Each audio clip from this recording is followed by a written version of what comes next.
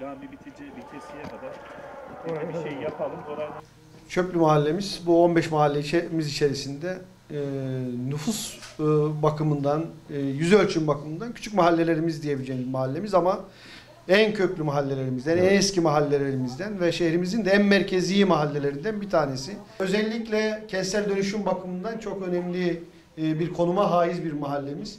Kentsel dönüşüm başladığı mahallelerimizden bir tanesi. Başarılı bir çalışmada devam ediyor. E, Fen İşleri Müdürlüğümüz özellikle Namazgah Parkı arkası ve Akpınar Caddesi'nde 406 ton asfalt serimi yaptı 2020 yıl içerisinde. Çöplü mahallemizde 150 aileye gıda yardımı yaptık. Ve bu 150 aileye 532 kez bizim gıda bankamızdan alışveriş yapma imkanını sunduk.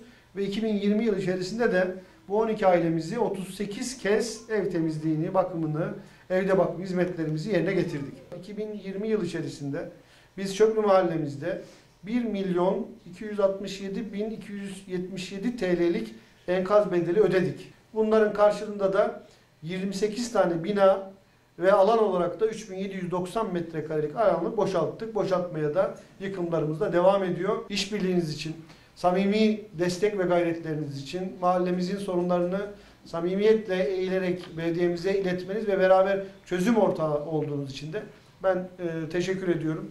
Sizlerin de buyurduğu gibi Çöplü mahallemizde büyük bir kentsel dönüşme çalışması oldu.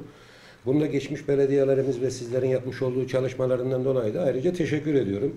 Mahallemizde sizin buyurduğunuz gibi e, kamulaştırma ve enkaz bedellerinin ödenmesi konusunda insanlarımız, mahalle sakinlerimiz kesinlikle mağdur edilmedi. Arsalarına arsa verildi ve e, kamu arazilerinin üzerinde bulunan binalara da değerinin çok çok üstünde enkaz bedelleri verilip insanlar mağdur duruma düşürülmedi. Bundan dolayı da mahalle halkım ve şahsım adına sizlerin huzurunda teşekkür ediyorum. Evet, orası çekilecek. Ee, sokak ve Değirmen sokak